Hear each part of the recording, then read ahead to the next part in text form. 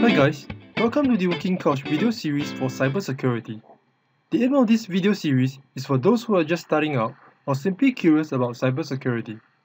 In the first video, we will be covering the basic concepts of cybersecurity and how it affects your daily life and what you can do about it. With the prevalent use of IT systems from home to business, many IT systems are no longer standalone but connected to one another for greater efficiency and convenience.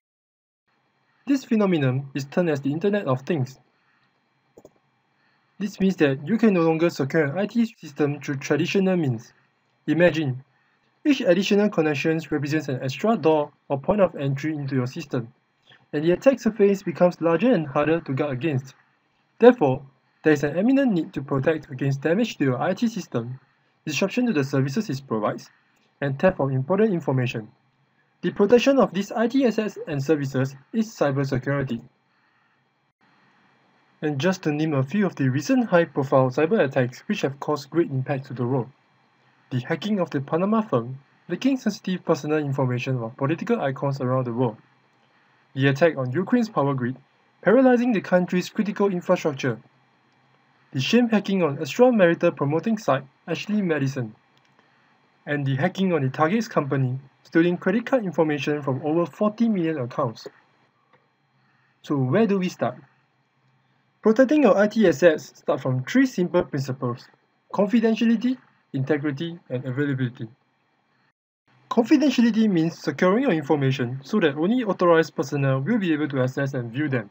This can be as simple as being aware of your surroundings to make sure that nobody is peeping at your screen from behind, which is known as shoulder surfing. You may also use a privacy filter on your computer to minimize the chances of shoulder surfing. Other examples include setting technical access controls such as account logins with strong passwords. The second principle, integrity, simply means ensuring that your information stays in its original form and is not modified.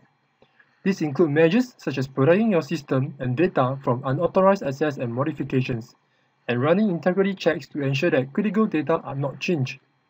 And lastly, the most important of the three principles, availability, means ensuring that your system stays available to perform its intended function when it is required to. The reason why it is the most important principle is because our ultimate aim for securing our IT assets is for them to be able to operate as intended. It will not be meaningful to have a secure system which is always down.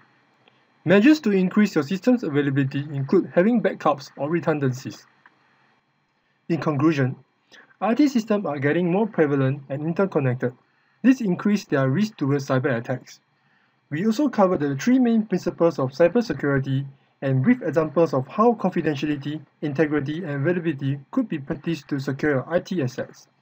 In the subsequent videos, we will also explore the above topics in greater details and share insights on simple ways to secure your IT assets. So stay tuned and remember to subscribe to this channel for more cybersecurity goodness.